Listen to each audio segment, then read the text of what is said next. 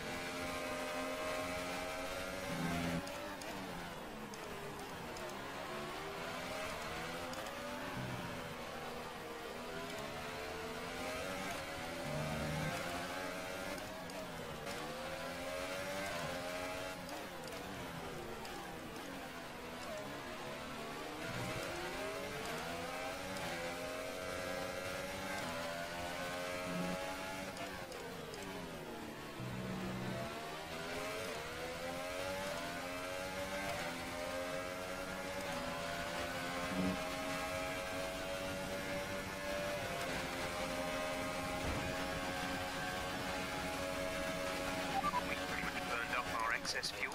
We'll be back on target soon. Don't wait too long to turn the engine down.